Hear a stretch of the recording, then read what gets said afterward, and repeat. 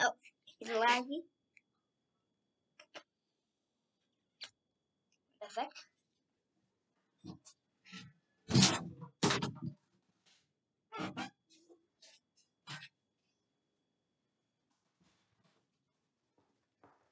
Sorry, um, today I'm going to tell you about the new Hyundai Azera.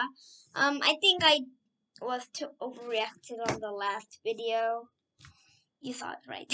Anyways, um, I'm going to review it. Okay, guys?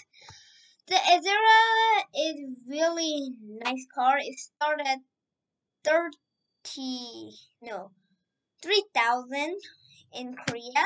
And the, about the national pricing, I still don't know yet, so I'm going to find it out and tell you.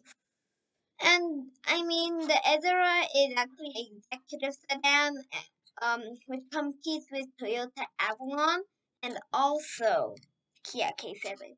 Kia K7 is also very very nice car. It's smooth and yeah, my um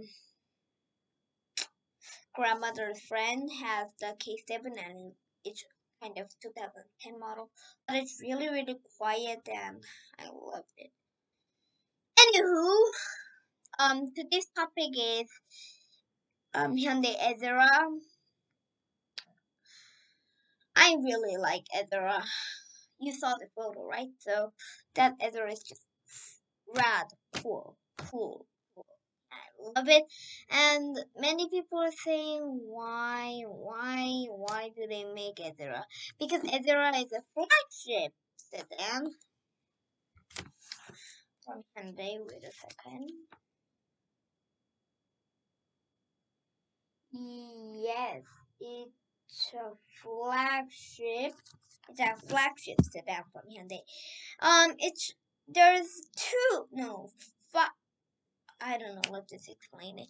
One number one engine choice, 2.5 turbo. Number two, 3.3 base engine, and then next is 2.4 hybrid and 3.0 LPG and 3.0 diesel. So that makes it five engine choices. So that's pretty nice. Um, I'm going to show you the K7 photo too. Okay. Um, the old Grandeur was really noisy, but still had some comfort. So.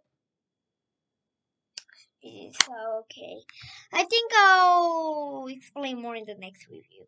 Bye. Dun dun dun da da dun dun dun da da da da da da da da dun. Please subscribe. Dun dun dun dun dun.